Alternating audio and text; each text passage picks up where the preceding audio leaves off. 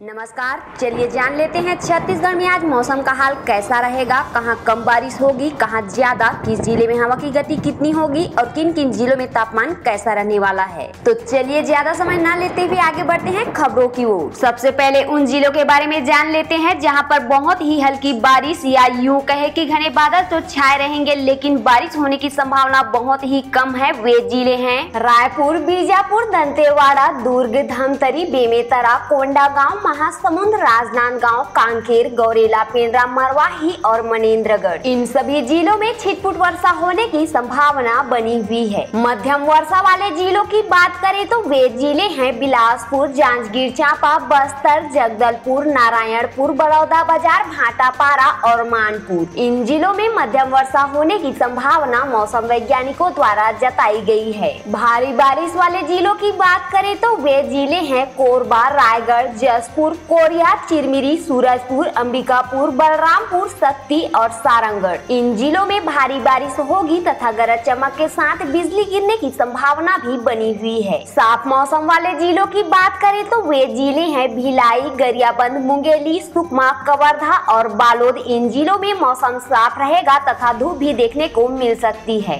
तापमान की बात करें तो अधिक तापमान वाला जिला है सुकमा, जहाँ पर 33 डिग्री सेल्सियस तक रहेगा तापमान। न्यूनतम तापमान वाले जिलों की बात करें तो वह जिला है जसपुर, जहाँ पर 27 डिग्री सेल्सियस तक रहेगा तापमान। वही बाकी जिलों की बात करें तो 29 से 31 डिग्री सेल्सियस तक रहने वाली है तापमान की मात्रा। हवा की गति की बात करें तो अधिक हवा चलने वाला जिला है रायपुर, जहाँ पर 28 किलोमीटर प्रति घंटे की रफ्तार से हवा चलेगी। न्यूनतम हवा वाले जिलों की बात करें तो वह जिला है सुकमा, जहाँ पर ग्यारह किलोमीटर प्रति घंटे की रफ्तार से हवा चलेगी। वही बाकी जिलों की बात करें तो 13 से 17 किलोमीटर प्रति घंटे की रफ्तार से हवा चलने वाली है। दोस्तों, इस वीडियो को लाइक अपने सभी दोस्तों के साथ शेयर और हमारे YouTube channel Google News Chhattisgarh को सब्सक्राइब ज़रूर कीजिएगा।